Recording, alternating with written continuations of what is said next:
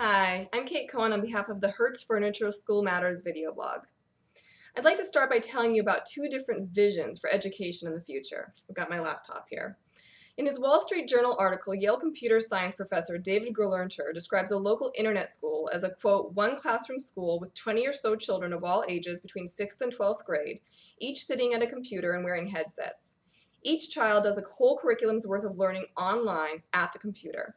Most of the time he follows canned courses on screen, but for an hour every day he deals directly, one-to-one -one over phone or video phone with a tutor. And here's another idea of what the future may hold. Sugata Mitra, professor of education technology at Newcastle University, describes children taking a history test 50 years from now in self-organized learning environments. The children have Bluetooth stereo implants in their ears or V-screen implants that show images in the visual cortex. The groups share everything as they listen to what their implants say and show them, and then create websites based on their findings and present them to the class. In this picture, technology is literally implanted into the children's bodies, and the guide slash teacher is a projected image, and the students aren't sure if she or it is real or a computer program. These two examples both paint a picture of education that relies heavily on technology. And in both examples, you may have noticed that the role of a present human teacher has been basically erased.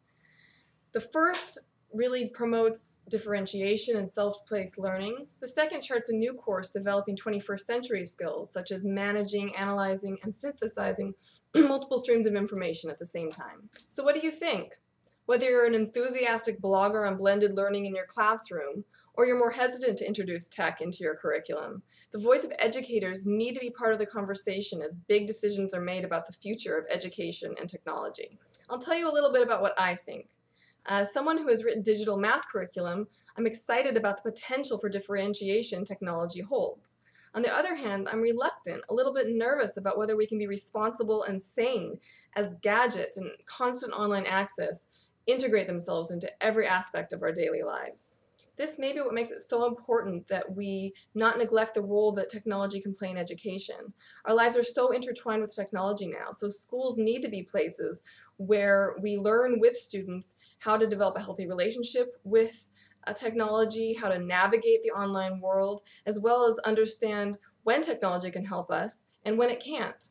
And this leads me to my next point. Sometimes I strongly believe the computer needs to be turned off.